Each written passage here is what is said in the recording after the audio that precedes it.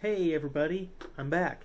So um, I did disappear for a while. I had a bunch, some things come up in my life that uh, took precedence over doing YouTube videos, things like that. But I am back now, and a lot has changed. Um, number one, the Silverado, or I guess we'll start with the Oldsmobile. We'll start with what I had, everything I had. So the Porsche is still around. Basically, nothing has changed. The car still has no engine in it. It's sitting in storage over um, at a relative's house in their barn. Um, and I actually have sold the original engine, and basically, time just kind of got away. The Oldsmobile, sold, gone. I actually sold that a couple months after my last video. Um, just one of those deals that I kind of got the car roadworthy, got it running, got it going, and decided to sell it. Uh, the Silverado, I actually uh, just sold that a few weeks back. So the Silverado is now gone as well. Um, I was given an offer I can't refuse with how uh, kind of crazy the, the used vehicle market is right now. Um, so the, the Silverado is gone, and I have purchased my replacement. Um, we will be getting to that here in a moment, um, and I I'm very excited to uh, to show you all and uh, show you the the little bit that that we're going to do today and go over some plans, um, a few plans for it as well. So uh, I hope you guys uh, are excited, and let's go ahead and hop so this is uh, my uh, new to me 1995 Ford F-150 XLT. I uh, was lucky enough to find this truck. I was given an offer I couldn't refuse on the Silverado, and uh, still wanted to get back into a truck. And this is what I came up with. This thing only has 98,000 miles. As you can see, the interior is just about perfect. There are a couple little things here and there that we do need to fix. There's one crack in the dash, and the uh, the seat belts are pretty torn up. Let's uh, go and hop inside here and uh, go through a couple other things. As you can see, this is the uh, the four-wheel drive model. It's pretty well bone stock interior. Uh, you will see a couple things that I did. I pulled a, a CB mount out of here, and uh, that's pretty much all I've done in the interior so far. Um, the AC wasn't working, so we did. Um, I did recharge that, and the AC is working now. Um, the uh, head unit was already in the in the truck when I got it. So let's go ahead and uh, start it up, and uh, let's show you what's going on.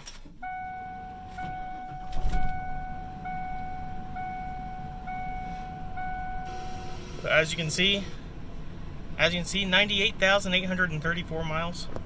Nice low mile truck. I was really lucky to find it. Uh, the amazing thing is, both tanks work. Uh, we'll let that sit and go up. As you can see, the uh, the back tank is full, so it will uh, fill up all the way. We'll keep that on the front tank for now.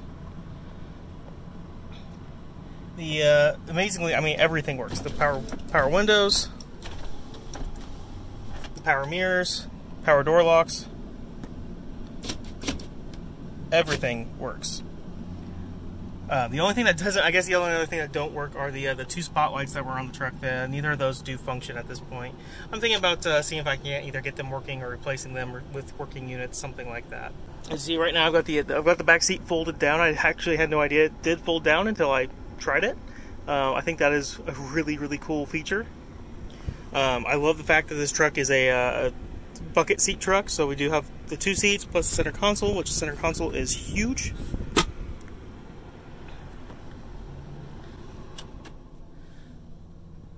But I mean, this is just a really nice example of an old pickup truck. This is the uh, the 351 Windsor, the uh, 5.8 liter V8. Uh, basically, all I've done under the hood here is I threw a battery in it, and like I said, recharged the AC.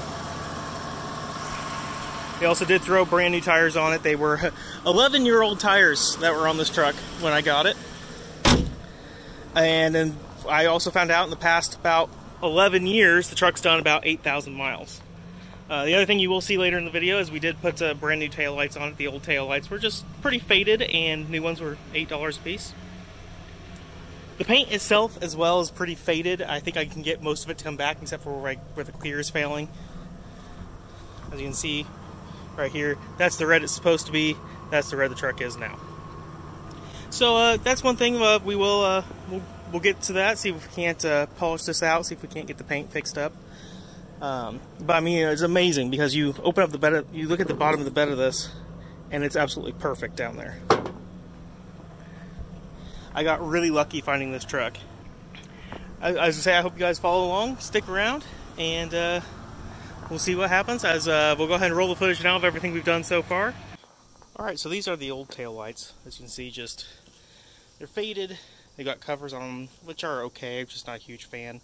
And I figure, you know, instead of trying to take the time to get these covers off and restore these tail lights, I can spend $8 a piece and get brand new ones.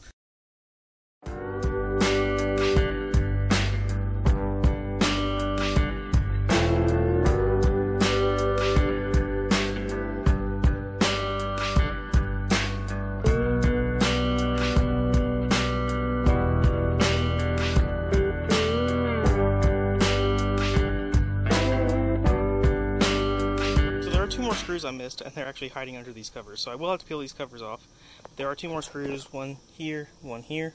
So I'll go ahead and get this cover peeled off, and we'll go from there.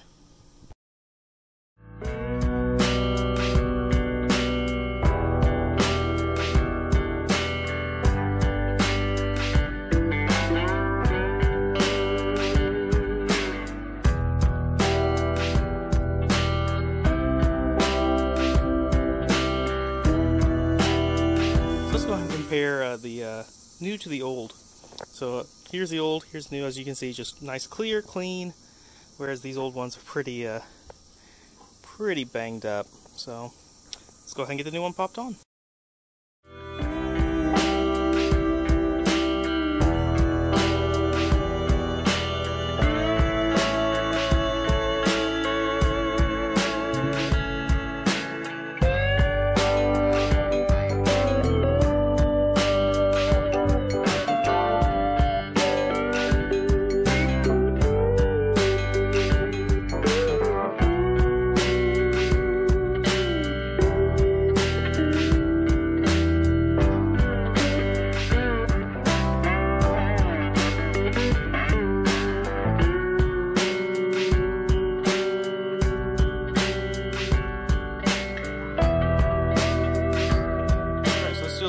To new comparison. That's the uh, old right there. Right there, that is the new. I just think that looks so much nicer, so much cleaner.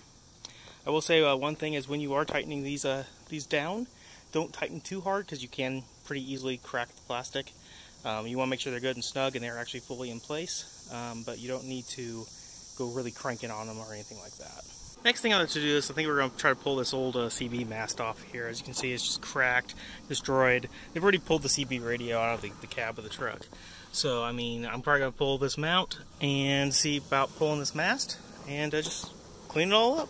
I finally got that off. Basically, there was an 11 mil bolt on the backside, and I just got a medium length socket and was able to kind of stuff it back there, use the ratchet and break it free. Once it was free, then I took my flathead screwdriver and pulled it the rest of the way out. Um, that was a little bit of a pain in the butt, but uh, I think it's definitely going to make things look a whole lot better and a lot cleaner.